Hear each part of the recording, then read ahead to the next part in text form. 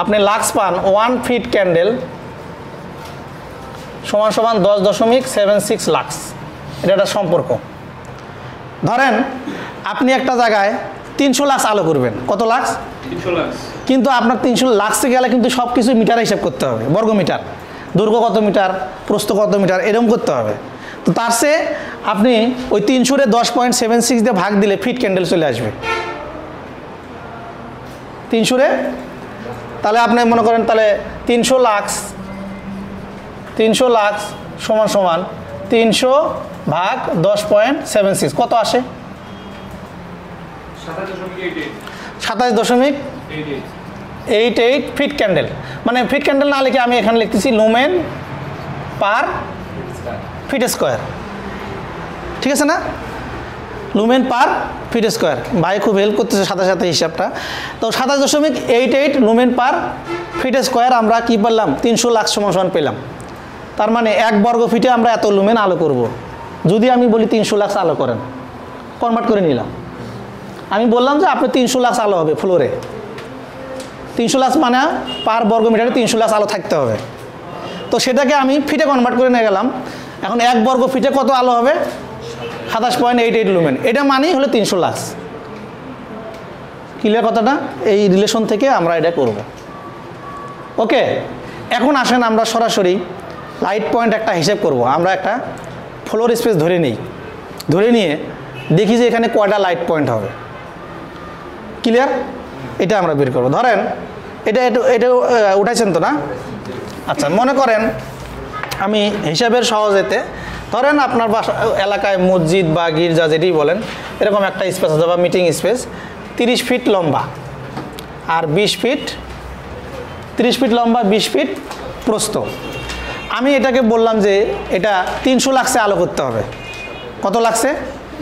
তাহলে এটা আপনার কনভার্ট করে নিয়ে গেলে কত হচ্ছে? সাতাশ পয়েন্ট এইট এইট রাইট তাহলে এই রুমটার জন্য এক ফিট স্কোয়ারে যদি সাতাশ পয়েন্ট এইট এইট লুমেন আলো করি, পুরো এই রুমটার জন্য কত আলো লাগবে? বের হবে না? এটার ক্ষেত্রফল কত? তিরিশ গুণন বিশ সমান সমান ছয়শো ফিট স্কোয়ার, ওকে? তাহলে এক ফিট স্কোয়ারের জন্য সাতাশ পয়েন্ট এইট এইট আলো লাগে। তাহলে ছয়শো ফিট স্কোয়ারের জন্য আলোর পরিমাণ বের হবে। তাহলে টোটাল আলো বা টোটাল লুমেন লুমেন ছয়শো গুণন সাতাশ পয়েন্ট এইট এইট, কত আসে? ছয়শো গুণন সাতাশ পয়েন্ট এইট এইট ষোলো হাজার সাতশো আঠাশ। এটা অ্যাপ্রক্সিমেট পয়েন্ট থাকতে পারে। থাক, এত লুমেন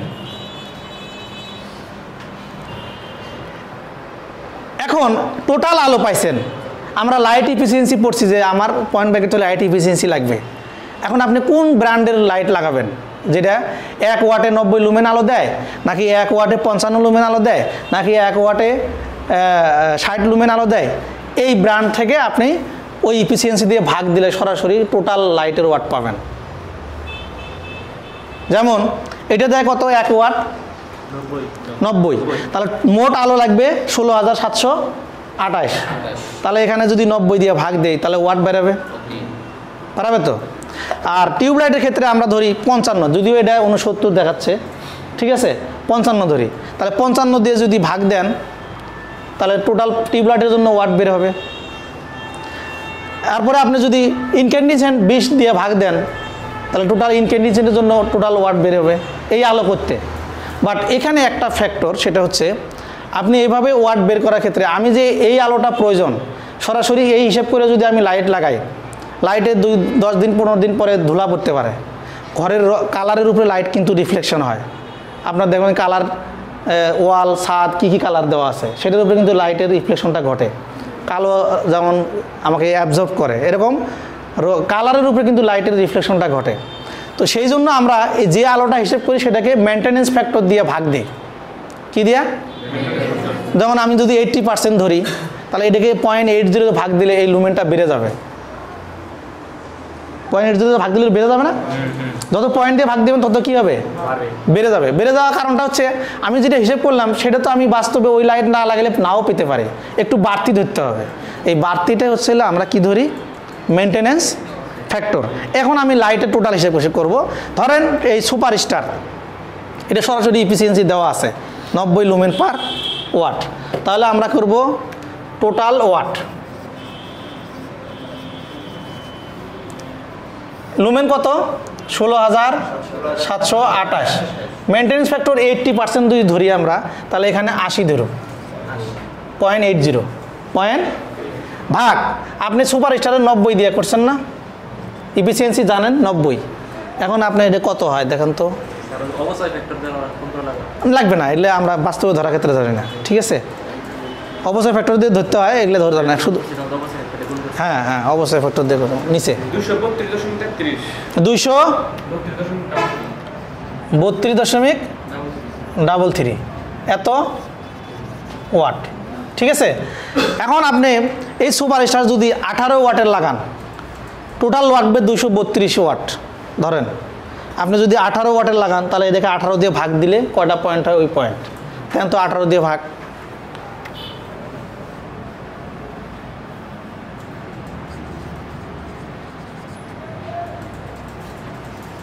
দুইশো বত্রিশ। হ্যাঁ আঠারো দিয়ে ভাগ দেন। ভাগ আঠারো। বারোটা পয়েন্ট লাগবে। নাইন জিরো মানে আমি তো অফিসে মেনটেন্স ফ্যাক্টর ধরছি, বারো ধরলেই হবে। বারোটা সাজানোর সুবিধা। জোর হলে সাজানোর সুবিধা। তাহলে আমার কত কয়- কয়টা হচ্ছে? বারো পয়েন্ট এটা কিসের জন্য হলো? সুপার স্টারের জন্য। সুপার স্টারের জন্য। এখন আপনি যদি বত্রিশ ধরেন, এনে ভাগ দেন, তাহলে আসবে ছয়টা। ঠিক আছে? আচ্ছা আপনি যদি এখন এটা টিউবলাইট করেন, টিউবলাইট, তাহলে এখানে ইফিসিয়েন্সি দিবেন পঞ্চান্ন। টিউবলাইটের ইফিসিয়েন্সি পঞ্চান্ন। পঞ্চান্ন হলে টিউবলাইটের ক্ষেত্রে এটা ওয়াট বেড়ে হবে টোটাল টিউবলাইটের ক্ষেত্রে কত আসে, দেখেন তো?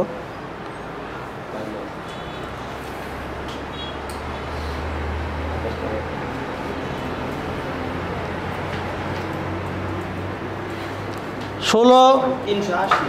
তিনশো? তিনশো আশি দশমিক দেখেন বলেছেন তিনশো আশি দশমিক ওয়ান এইট। তাহলে টিউবলাইটের ওয়াট এখানে এখানে এটা ছত্রিশ ওয়াট লেখা। আমরা অ্যাজ ইউজুয়াল ধরি চল্লিশ ওয়াট। তাহলে এটা এটা চল্লিশ দিয়ে ভাগ দিলে টোটাল টিউবলাইটের কয়টা পয়েন্ট হবে? বের হবে। হুম। এটা পাঁচশো বাইশ হয়? নয়। নয় ওয়াট। তিনশো আশি, এটা ঠিক আছে তো হিসাব? হ্যাঁ? তিনশো হ্যাঁ? Nine point five zero. তার মানে দশটা পয়েন্ট। তাহলে আপনি যখন টিউবলাইটের জন্য সাজেশন করবেন যে ওরা লাগাবে কি? ওরা কি টিউবলাইট লাগাবে? তাহলে আপনি দশটা পয়েন্ট অ্যারেঞ্জ করবেন। দশটা পয়েন্ট এখন কত দূরত্ব দূরত্ব দিয়ে সুন্দর করে সাজানো যায়, এভাবে সাজাবেন। আপনি যখন এটা ইনক্যান্ডিসেন্ট ধরবেন, তখন এখানে বিশ দিলেন। দিলে অনেকগুলো ওয়াট আসবে। ঠিক আছে না? তখন ওটাকে আবার ভাগ দিয়ে ওইভাবে পয়েন্ট করবেন তার মানে দেখেন, একই পরিমাণ আলো করতে সুপার স্টারের জন্য একরকম ওয়াট লাগতেছে, টিউবলাইটের জন্য একরকম ওয়াট লাগতেছে। যদি ইনক্যান্ডিশন ধরেন, এটা প্রায় এক হাজারের কাছাকাছি ওয়াট আসবে। তার মানে কি, বিদ্যুৎ বিল সাশ্রয় হচ্ছে কোথায়? এই যে এলইডিতে